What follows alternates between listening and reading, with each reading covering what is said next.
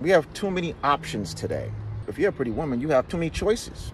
You got the internet, you got your phone, you just you don't have to focus on having an intention on bonding with someone because you have so many options of swiping left and right. You got too many ways to get attention and too many options to entertain. It's very difficult to focus and have an intention with one person.